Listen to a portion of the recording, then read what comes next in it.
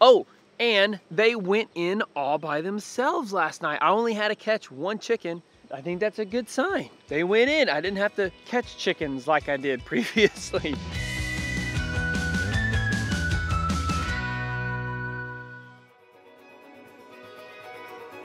Good morning, my friends. You guys, I have been awake since, right now it's like seven o'clock. I've been awake since 4.30 this morning. I used to do that a lot before we moved and once we sold the house, it just, it was kind of hard to get into the routine of always waking up early. But y'all, I absolutely love, love waking up early. I've gotten so much done. Today is gonna be a homestead update showing you what we've done over the last week.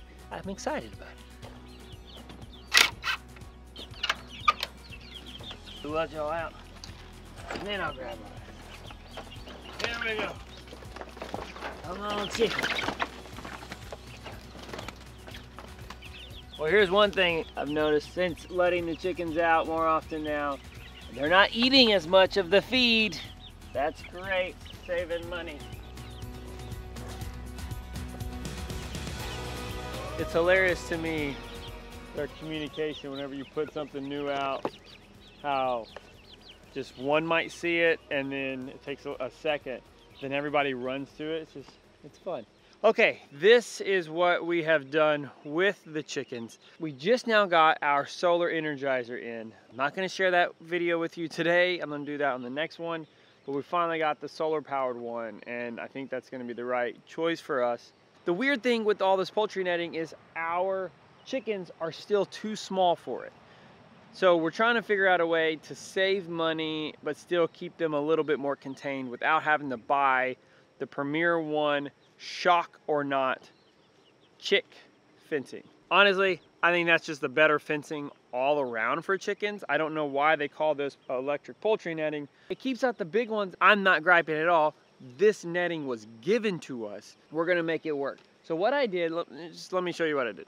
So what I have here is I took some chicken wire. This is just two foot high, like 24 inch high, wide chicken wire. And I just strung it up and I put it all the way on the ground around the chickshaw. So basically they can't get out. If they whenever they go under the chickshaw, they really can't get in or out. So it's kind of a nice little place and whenever it's sunny, they go under here. And I have them a little run just around it. So this is not a lot of space, but they're super happy. They're really digging it. They're really liking it. And as long as I keep them with some fresh wood chips and bedding, they are just happy as can be. It's way better than keeping them in the chickshaw all day, which is what I had to do once they got too big for the tractor. And then I wanted to transition them over to the chickshaw is they just had to stay in there for most of the time because they would go out of the netting. So they have this little bitty run. They can't fly over this because I've clipped their wings, so that's good. The one thing that they can do is they can I think they can jump about two feet high currently, but they can't grab a hold of this, so they don't really try to. Now they can, I didn't see that happening, is they jump up here and perch, and then from here they jump over. So it's not a perfect system, but it's better than nothing.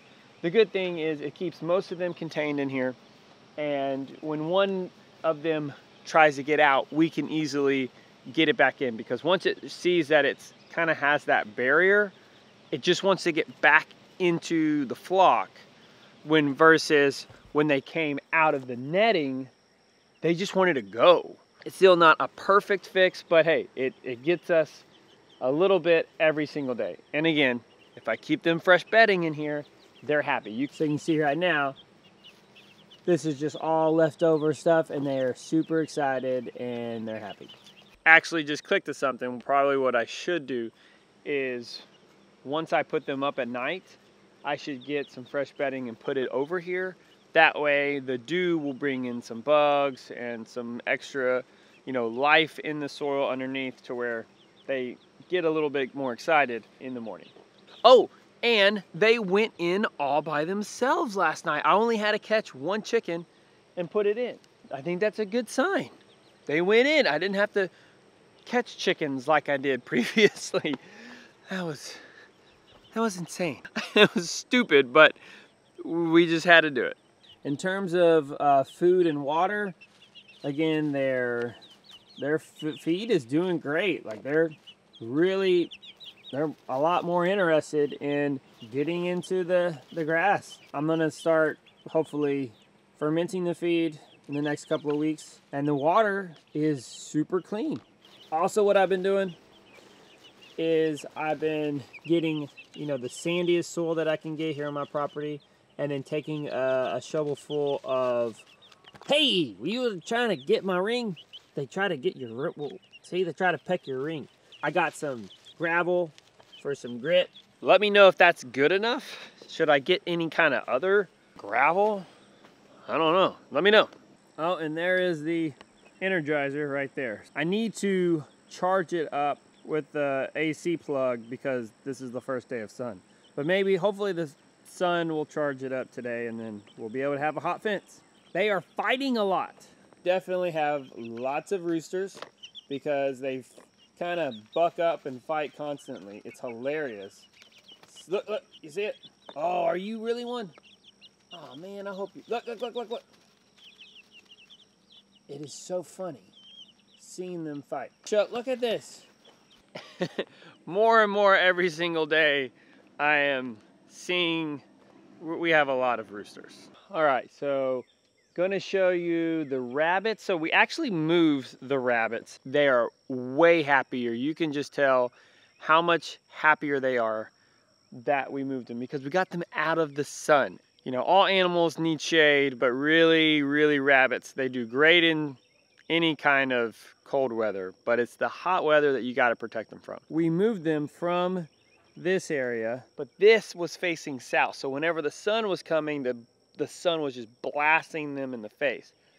That actually faces now east, and it has all of this great tree cover. Well, it's getting bright, sun's coming out. So whenever the sun comes from here, it's rising right now in the east because it's, it's gonna go over here in the west. So basically about midday, they are already in shade. So about noon, uh, they are already getting, I mean, they pretty much get shade all day long. And then once it's the hottest part of the day, they are just happy, happy, happy. I have the fan running back again. So what the plan is, I'm gonna catch all the bugs because we're in the shade here, so there's lots of bugs and mosquitoes. This is gonna harvest a lot of bugs. Then I'm gonna take this net, this no-see-um netting, and then I'll just take it off and go give it to the chickens and they'll have some fresh bugs in the morning. Okay, so here's the rabbits already fed and watered them. So Rex here is doing good. Don't need to see him, you see him a lot. Blue may or may not be pregnant. Not really sure. That would be cool if she is. I think Lilac is pregnant. And then here are all of her bunnies. Oh my goodness. These bunnies are way too big. This is insane. I'm sorry. This is not what I want. Got to get these guys out on the pasture. Got to figure this out really fast. I'm going to share my plan with them. They're going to be in here for two more days and then they are out. They are gone and they're going to be on pasture um, for the rest of their lives. This is Lilac 2. This is the mom and then Rex is the dad. So you can you can see the resemblance. So they're gonna be going on pasture here in the next couple of days. Then there are these two. Basically, they just planned on becoming pets, being pets by Ella and Ollie. Since they've gotten big, they really loved them when they were little bunnies. They love the little bunnies, but now that they're big, they don't really care about them anymore because they're kind of dangerous. They're boys. Unfortunately, we wanted for one of them to be a girl. They both ended up to be boys. Well, it's just time. We're, they're not going to be pets anymore. So we're I think we're going to keep one of them. I'm thinking of keeping the white one. Kelly kind of wants the black one. She's like, oh, we get a black bunny. But white rabbits sell better. Just for a pet, it's just white rabbits are better. So anyway, that's what I'm thinking is that we might just graduate the black one and keep the white one because he's a buck and he could be the backup for Rex for a little while. And also then we'd have that white to be able to breed back to blue because blue's the mom. And yes, you can do that, but also breed him to lilac. And I think that combination could be a really cool looking rabbit. So let's talk a little bit about infrastructure for the animals and then we'll come back and talk about the garden. This was where we kept the chickens. Once we moved them out of the brooder, well actually I put them in here every single morning and then put the chickens up at night and then we transitioned them to living in here full time and they really did good and I moved them every single day. Updates I need to do is I actually need to frame out the roof. So just like I have with these one by ones, I need to make a proper roof for that with hinges out of wood. Besides the fact that I need to come back in here and really put U-nails in these instead of just the normal staples, that didn't work. So I need to put the U-nails in there because the staples are popping out. Then I need to go to Home Depot and get a whole bunch more of this plastic roofing. This is my first project whenever Kelly and the kids are gone. So today's Saturday, Kelly and the kids are gone on Monday. No, they're gone on Sunday for like five days. So I can get a lot done. I'm gonna miss them, but I'm gonna be able to get a lot done. So I'm gonna put some runners, some uh, one by ones at the bottom and probably extend this out in this in the center part to where I'll put a couple of one by ones or maybe a two by four or something over on the edges like that so that whenever they try to burrow, they're not going to go super deep, or at least once they burrow a little bit, it will kind of um, stall them just a tad. Hopefully that's the plan. Then a couple of runners uh, so they don't burrow in the center. Something like that, but something to where they have some sort of wood on the bottom. And then also what I'd like to do is put maybe some boards back here so that whenever you tractor them, they'll hop on the back and they don't get their feet caught underneath the boards. Garden is doing pretty good. The sweet potatoes finally coming out. That is exciting. The, I'm gonna let these go probably another week. Then I can start snipping off each of these. Then I'll put them in water inside, let them get some roots, and then I can start planting more sweet potato vines all over the place. Spinach is doing good. This is, we're really not eating this spinach. This is really just going towards the, for the rabbits, for extra feed, to get them some greens. We have one banana plant that Jeannie gave us. Woohoo! A banana tree. So awesome. So awesome. Now I'm gonna share with you, let's see, where is it? Perfect, there it is. This is our best looking mulberry tree. This is from Jeannie that she gave us all of these mulberries. So this was probably, she, I think we, she gave us maybe five big long cuttings of mulberries. These are white mulberries. And I was able to make 31 cuttings. This is the only one that's really having strong growth and it's now starting to take off. Awesome, awesome, awesome. I am stoked. The rest of the mulberries are having small amounts of growth, but it's still growing. So like that one right there. All right, so the plan over here is that we're going to take those baby bunnies, uh, they're not baby bunnies anymore, but those bunnies from Lilac, and we're going to tractor them all over here. This is why we spent 100 bucks for cover crop. Green cover seed, you guys rocked it out. Look at this. So here's some of the grasses that came through. Here's some of the legumes. Man, it's looking good, looking good. I'm excited, excited, excited. I don't know what this is. I hope that this is some of the grass. Man. All right, last thing I'm gonna share with you is going to be the green stock. So it's doing pretty good. We ended up taking one of our cattle panels and putting it up here. We have strung, oh, I need to get this guy up. Bam. That this guy fell over the last couple of days. We haven't gotten any produce from this really, except for Ollie got a couple of beans. It's it's doing decent. It's not. Oh, here's a couple of peppers. That's kind of cool. So there's some banana peppers there, some more peppers.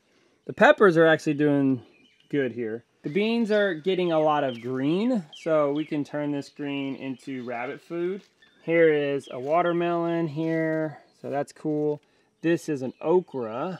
It doesn't explode with growth the way that I expected it to. So I'm not really sure what's going on. Here is a, another sweet potato, so that's exciting to get more sweet potatoes here. And then these are some really expensive, these are some CSA sweet potatoes that just started sprouting. So I'm excited to get these guys in the mix. And then hopefully I can start really propagating these and keeping them forever. These sweet potatoes are huge. All right, so here is what we have for our tomatoes. Really cool, yummy, yummy. Kelly and the kids are out of town. All of the kids. It is just me and the animals here, and it is my job to get so many things done here around the house. I need to go get my phone. They're getting big.